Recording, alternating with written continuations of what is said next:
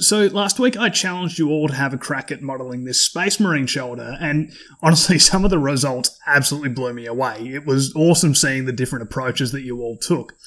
Uh, but I wanted to go a little bit more in depth and break down the process of how to go about modelling this, as well as show a little bit more of a technical and possibly a little bit more of a roundabout way of tackling it. So I'll show you the first method here, which is the way most of you approached it, and uh, not unsurprisingly, because it is the simpler way of doing it. So if we just pull in a cube here and we subdivide it, I'm just going to subdivide this three times here. I, I feel that gives enough topology. Uh, I'm just going to apply that. Then tapping into edit mode, you can use Alt, Shift, and S to use the spherize uh, method. And you can see just as I pull it out to one, it just makes it more of a sphere as opposed to uh, more of a cuboid shape. From here, I just go ahead and cut away three quarters of the mesh. Let's get rid of those faces. And then you can literally just go ahead and scale along the y-axis to just bring it in. And then also on the x-axis to bring that in as well. And I should probably also just note that uh, this works because the pivot point's in the middle. Uh, and it will also work if we had the 3D cursor, but we're actually going to want to use the 3D cursor for this next part, is why I bring that up. Um, because if we go ahead and just select this bottom row of verts, and we extrude with the 3D cursor at the center point there. We could also use the uh, origin point because it would still work here. I'm just doing this for good practice. And so just extrude this out. This will make that brim there for us. And I might just scale it in a little bit on the X, just like so. Then go ahead, select the outer one. Just going to go to a top-down view to try to help line this up. E to extrude and scale this out just until the outer vert matches up with these outer verts. And it's not going to be precise, but I'm just going to go ahead and merge these at last. Um, then I'll just go ahead, select all these bottom verts again, E to extrude, just pull this, whoa, pull this down directly on the Z axis, and then just go ahead and do the same for the front here and just extrude and pull that forward. And then I'm just going to fill in just a little bit of the interior. I'm not too worried about it for this exercise. Uh, when I eventually get around to doing the full armor tutorial, we'll, we'll cover it in detail there. Uh, so I'm just going to extrude these in a bit, scale it in, and then just scale in on the Y as well, just to make it sort of even. Um, and sorry, I, I, probably didn't explain that well. I've just, I moved the uh, center point uh, well, the 3D cursor, because it was sitting here, I just selected between these two verts and went cursor to selected just so that it would scale about the bottom here.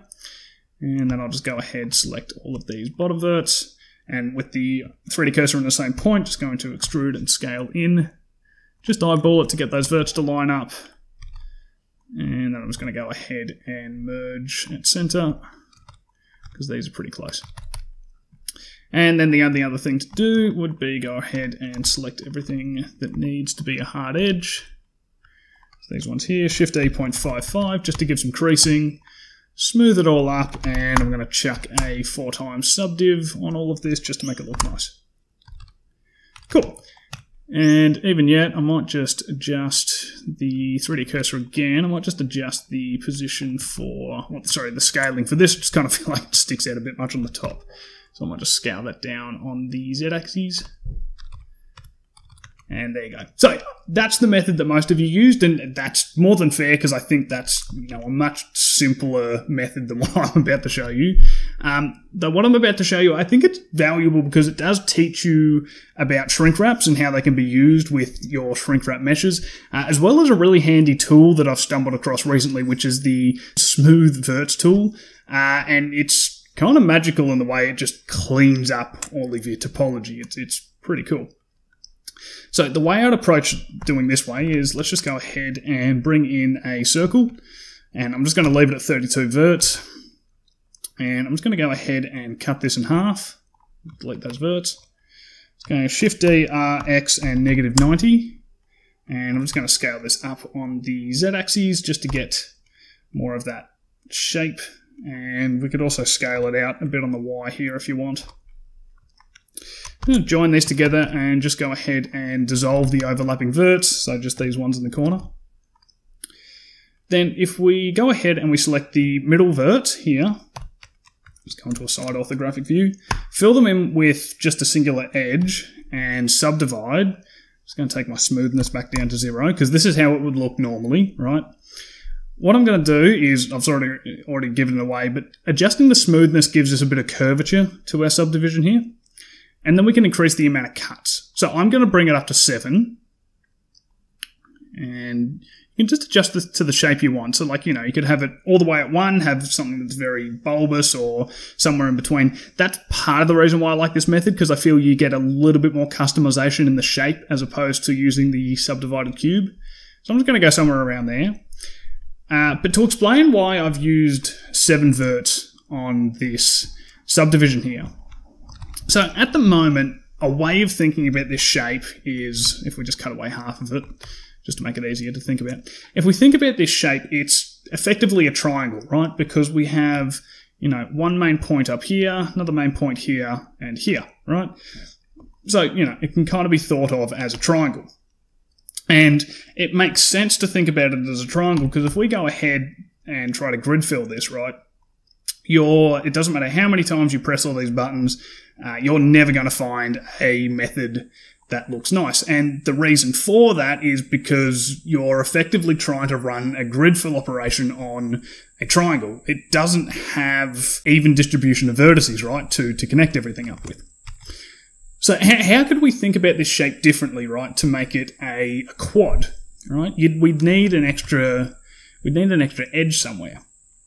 So what I'm going to do is I'm just going to fill in an edge here, right? So we can just ignore that vert. I'm just going to hide it. I haven't deleted it. It's still there. But now if we think about it, right, we've got one vert, two vert, three vert, four verts. So all of a sudden, we've changed this shape into effectively a quad, right? It's it's not yet, but we've got four main points of contact. So this shape could be considered a quad, as opposed to before, where you know we had more of a triangle, right?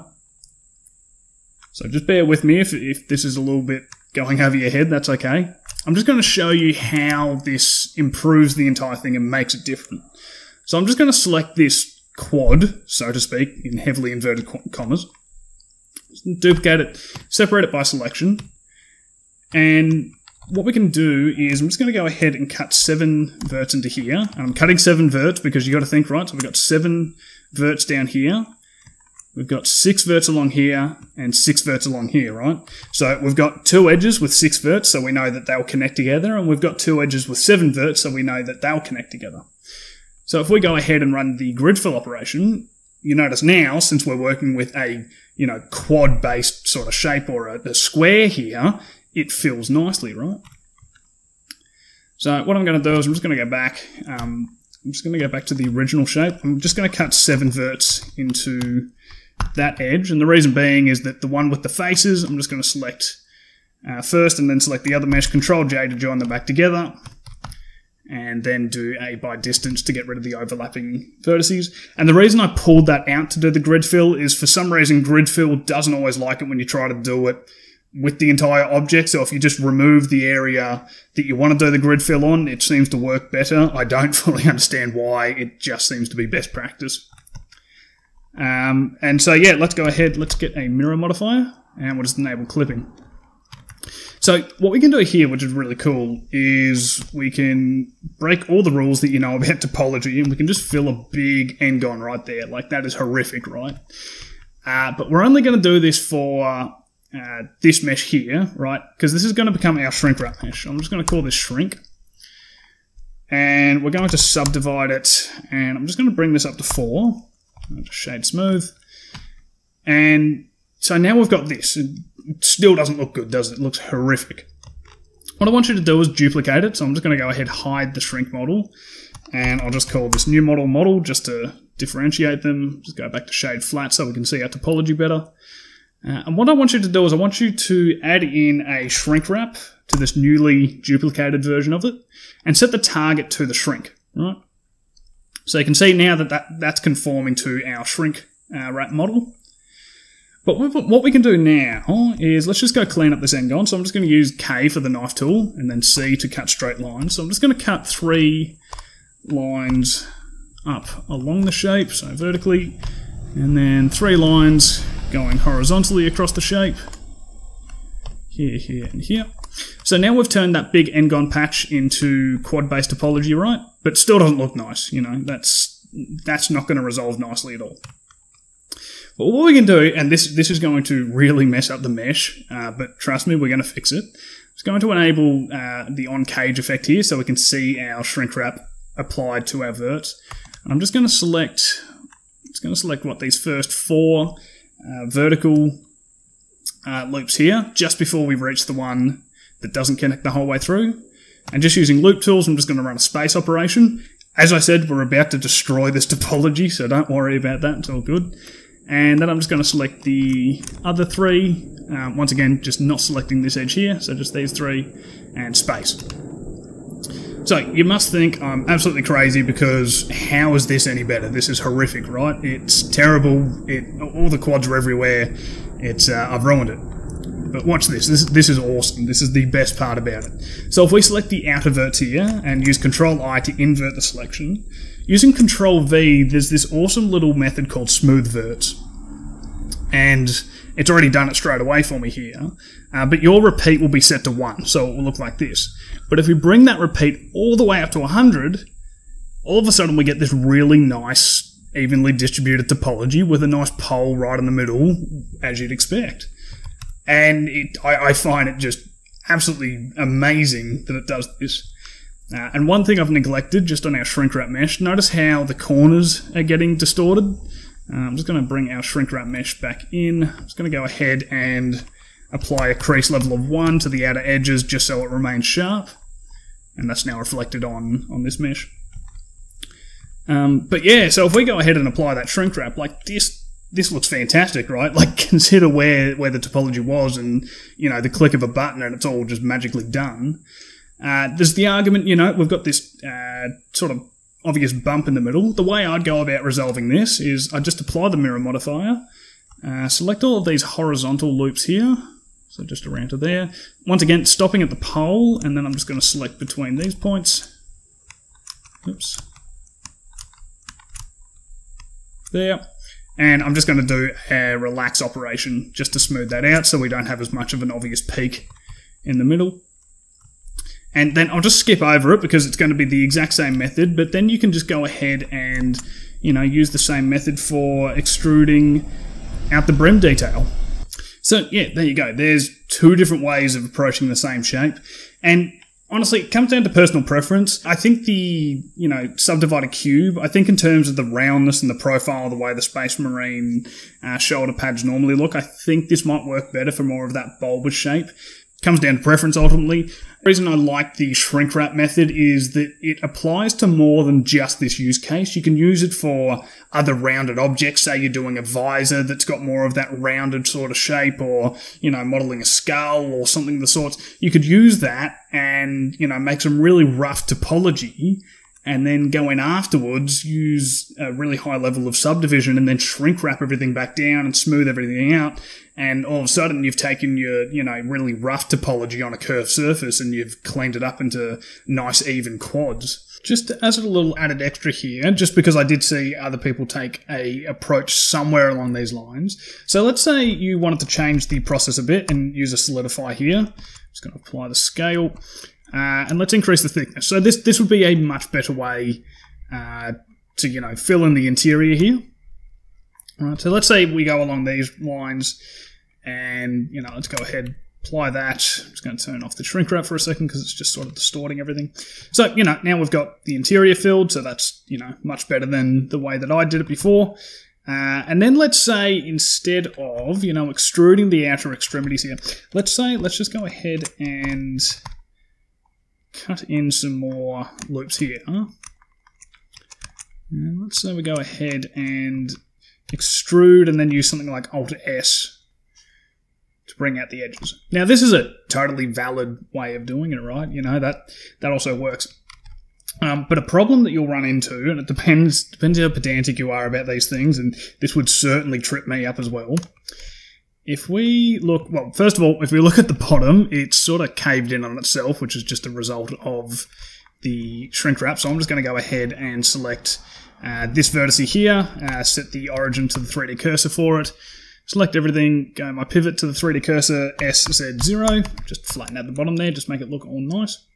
Um, but then on the side here, you'll notice one, we get the similar, we get a similar sort of thing going along the top here, so I might just do the same for the top. I might just select that, set the 3D cursor to that vertex I selected, SZ0. So just flatten that out. And we get a similar problem. I just noticed it's not really along the x-axis, but that's all right.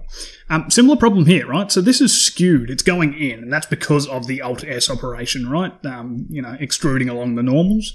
Uh, what we could do here, make it nice and simple, just select the, you know, apex uh, vertex there, oh, sorry, edge, and then we go S, X, and 0, so scale it down to be 0, and then what we can do is just selecting between these points. So I'm not selecting beyond this edge here, just up to that point and out to the extremities.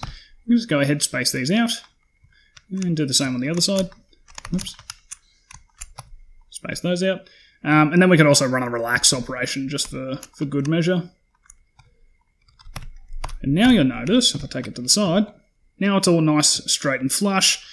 Um, and it just helps correct that skewing that we have on the outside. So that's just another way to do it, as I believe uh, Sneery Sun over in the Discord server had used a method somewhat like this, uh, and had just asked about how you would go about correcting uh, uh, the skewing on that edge there. So that's how you go about it.